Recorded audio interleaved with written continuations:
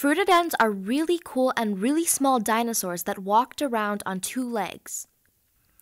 So, if some dinosaurs walked on four legs and others on two, how did dinosaurs like Fruitadens walk on two legs without falling over?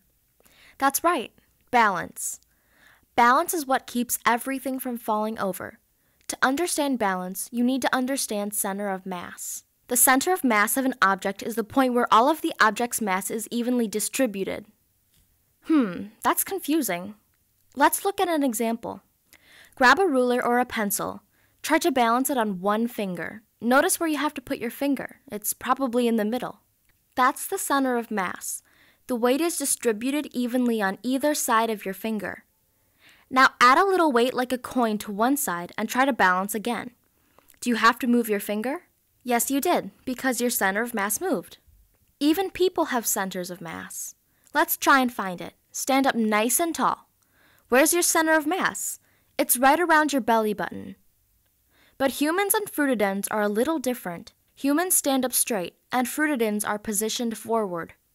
What if a human tried to stand like a fruitadens? That's right, they would fall over because your center of gravity moved from your belly button to outside your body.